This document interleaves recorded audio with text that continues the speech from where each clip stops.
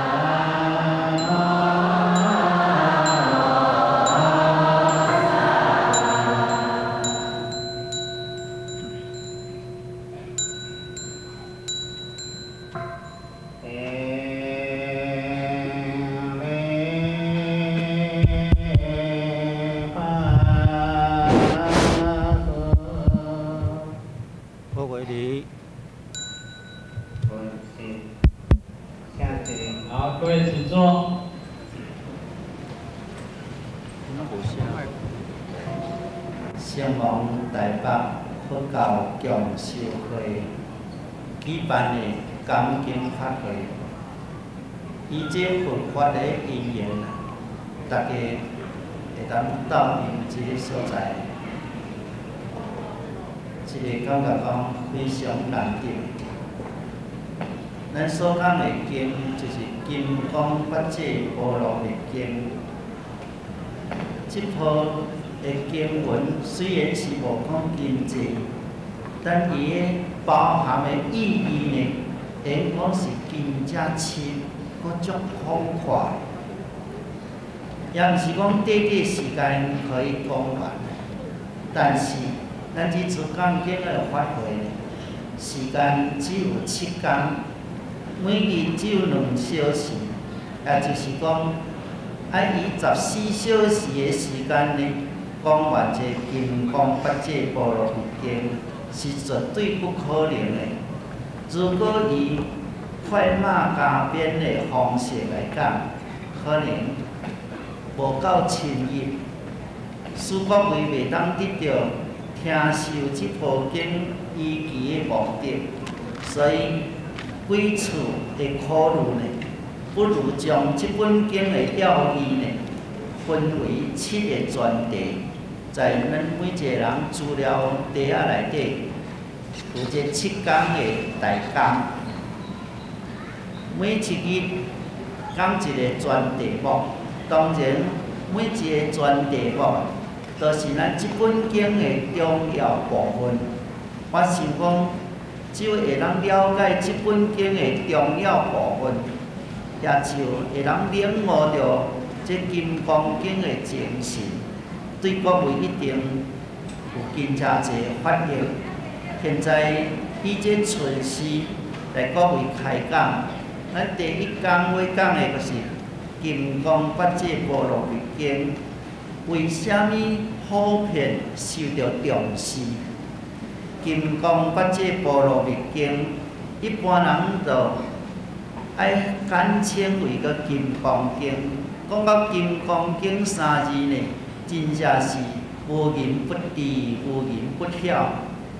凡是听到《金刚经》三字呢，都会生欢喜、快乐、甲恭敬的心。至于一般高级的知识分子，无论是讲教内，无论是讲教教外的人，也都非常重视《金刚经》，因为这《金刚经》内容浩瀚。因为伊是宇宙人生的真理，而且是永远不破的真理，所以无任何的学者对这《金刚经》提出怀疑。咱第一要讲的是相？